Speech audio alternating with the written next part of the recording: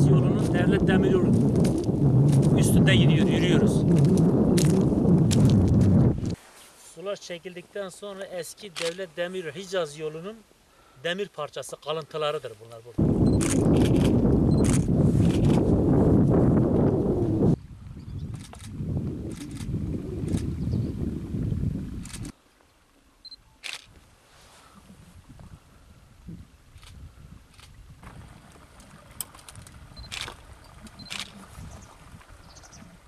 verecekler ama kol almamışlar. Bak şunlara.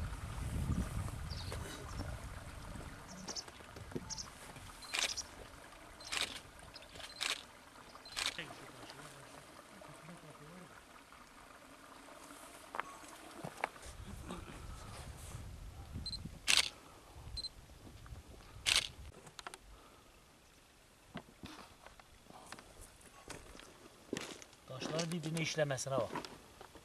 Şekilde. Hicaz Devlet Demiryolu'nun köprüsünün, Karasu Köprüsü'nün ayakları. Suların çekilmesiyle şu ayaklar şu anda meydanda. Eğer ki yağışlar olsaydı şu tarihte bu su suyun altında kalacaktı bu köprünün.